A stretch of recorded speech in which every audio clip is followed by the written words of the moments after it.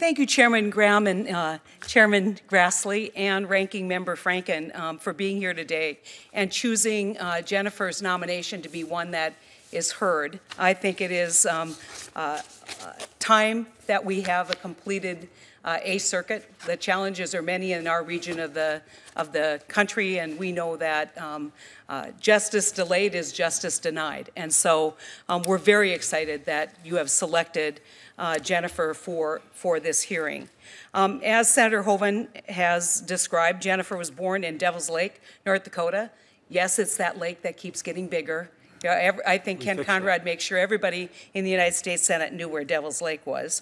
Um, graduated with her undergraduate degree and law degree from the University of North Dakota and now serves an, as an assistant U.S. attorney and supervisor in the criminal division in the Attorney General's office, U.S. Attorney's office in uh, Fargo, North Dakota.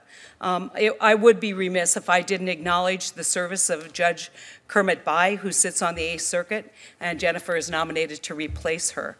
Judge Bye has represented the state of North Dakota in his hometown of Hatton with great distinction and integrity and it's been with the utmost respect and sincerity that I thank him for his service on the court, a service that he continues today as he has moved into senior status.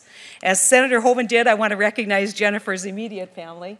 They're all adorable and um, I think uh, um, can only uh, be here with a sense of pride that you get when you're nominated to one of the highest judicial offices in the country. And so I applaud um, not only her husband and her family, but also her parents. I have a, I have a longer statement that I'll just um, ask that I be allowed to submit for the record.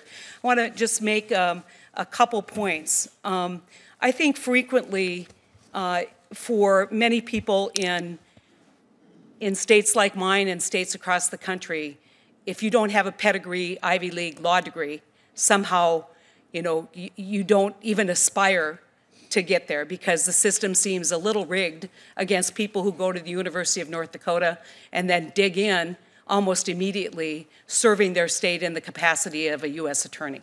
Um, the chairman knows very well what the job of a prosecutor is and the judgments that have to be made every day by a prosecutor as they kind of move through the, the, the system. And so um, I think the judgment that you exercise as prosecutor is a great beginning for sitting on uh, a significant circuit court. I think secondly, I think the work that she has done recognizing how difficult that job is for victims whether it's victims of child trafficking, whether it's victims of the drug trade in my state, whether it in fact is, is victims of, of um, child abuse and neglect on Indian reservations.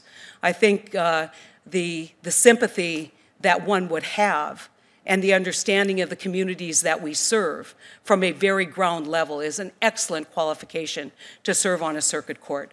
Real life experience, real world analysis understanding completely when someone comes in on, a, on an appeal from a, from a conviction exactly what that, that looks like and what, what uh, the conditions were um, in which they were prosecuted. And finally, I want to mention something that hasn't been talked about yet.